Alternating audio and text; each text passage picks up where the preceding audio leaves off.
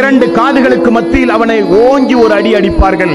அல்லாவுடைய ரசூல் சொல்லுகிறார்கள் அடித்தால் என்ன நிலைமை ஏற்படும் தெரியுமா? அடிக்கிற மலக்கை அல்லாஹ் எப்படி நியமித்திருக்கிறான் தெரியுமா?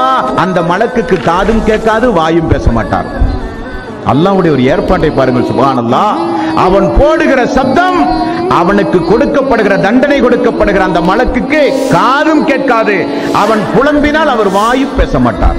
அப்படிப்பட்ட சுத்தியிலை கொண்டு வந்து இப்படிப்பட்ட ஊனமுற்ற ஒரு வானவரின் மூலம் அல்லாஹ் தண்டனை கொடுக்கிறான். அந்த சுத்தியிலை கொண்டு போய் ஒரு மலையிலே அடித்தால் மலை மண்ணாக போய்விடுமாம். நரகத்தினுடைய வாசல் திறக்கப்படும் விஷக்காற்று வீசப்படும் நெருப்பு காற்று வீசப்படும் சுத்தியிலை கொண்டு போய் அடிக்கப்படும் பூமி நெருக்கப்படும் இதற்கு மத்தியில் மிகப்பெரிய அலங்கோல துர்நாற்றமுடைய ஒரு மனிதன் நம்மோடு நம்மை தடவிக்கொண்டே நம்மோடு பேசிக் கொண்டிருக்கிறான் நாம் செய்த பாவச் செயல் மனித உருவில் மாறி வருகிறது.